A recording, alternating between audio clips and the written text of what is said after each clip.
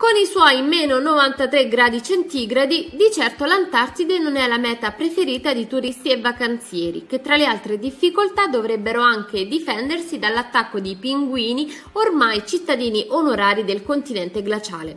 Per fortuna però, non solo loro possono godere di alcuni incredibili panorami ghiacciati o essere testimoni di un mistero quasi del tutto sconosciuto come le cascate di sangue.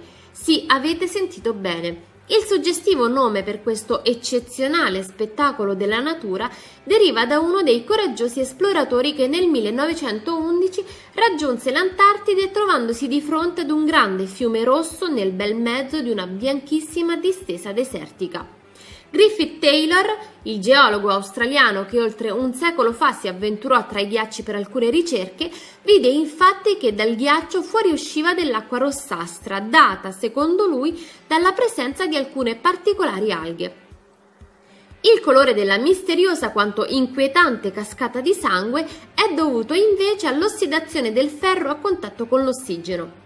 La spiegazione toglierà sicuramente un po' di fascino al fenomeno antartico, ma la sua eccezionalità resta invariata.